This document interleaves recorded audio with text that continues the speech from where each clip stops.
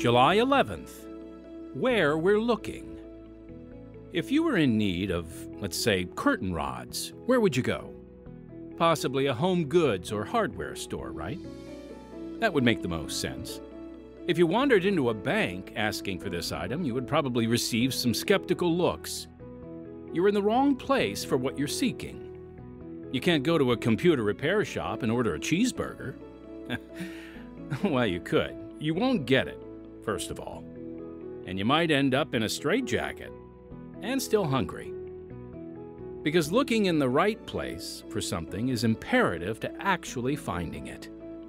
And it's no different when it comes to the emotional and spiritual fulfillment we need in life.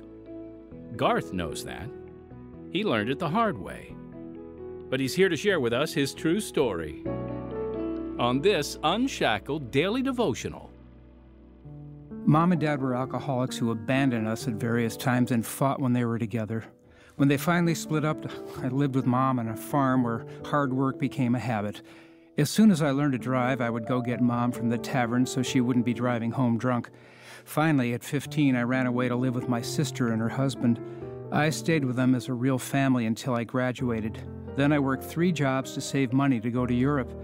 I was using drugs by then acid, hash, cocaine. I had a lot of questions about life and thought travel would provide the answers. But people in Europe were as confused as I was. After several months, homesickness brought me back.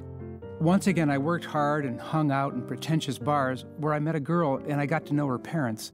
They were so different, quietly peaceful yet confident.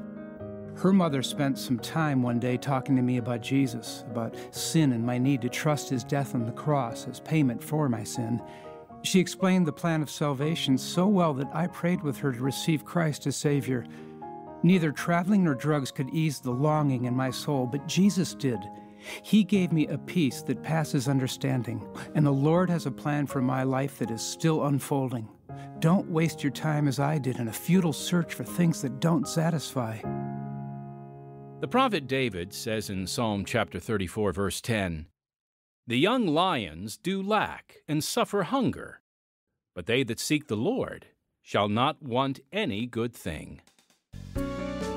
Friend, in this world, we're bombarded by distractions, lifestyles, possessions, and achievements that we want to believe can provide for our deepest needs.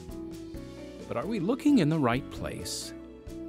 Even as Christians, we're susceptible to worldly attractions.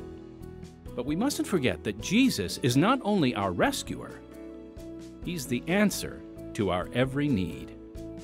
And we'll only find our satisfaction by seeking Him above all else.